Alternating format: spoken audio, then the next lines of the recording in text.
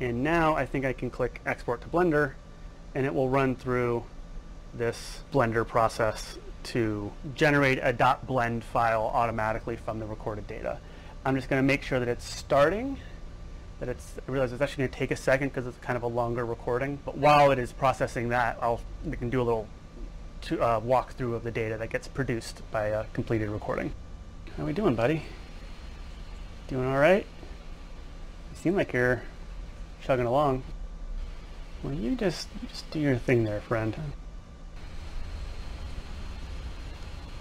Mm. Something's... Something isn't right. What are you struggling with? Nice